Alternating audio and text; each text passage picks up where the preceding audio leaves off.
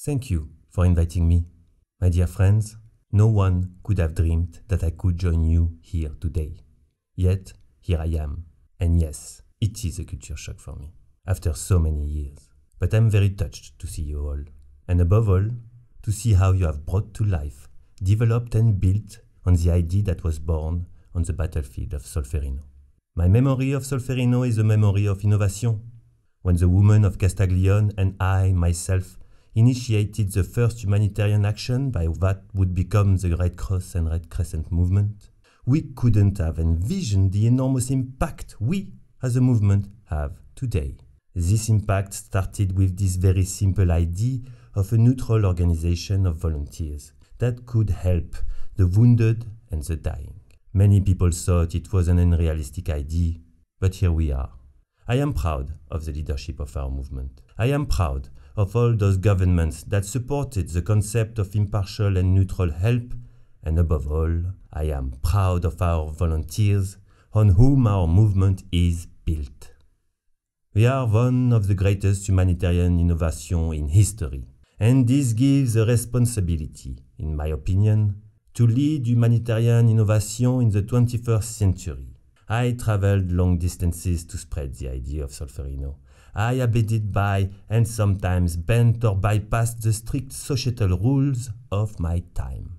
Innovation often starts with a simple idea, but we have to think big and be opportunistic to bring these simple ideas to life. We can do that, no doubt we can. The world has changed, and so has the movement. I see the enormous challenges that you are currently facing.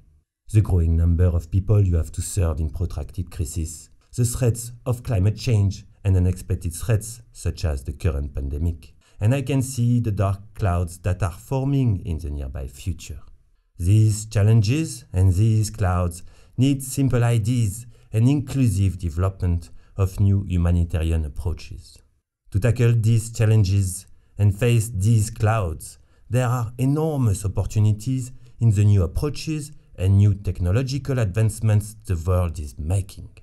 Think about new ways to raise funds. Think about the benefits of inclusion. Think of new communication technologies to reach people around the world.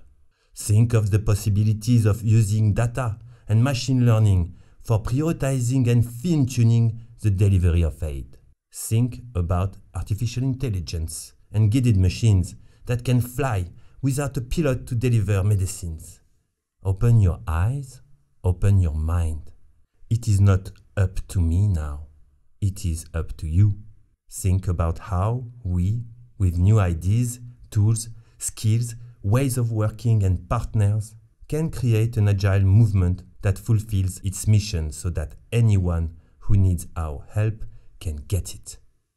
Power up humanity and remember this simple idea that was born in Solferino. We can do that. Thank you and good luck.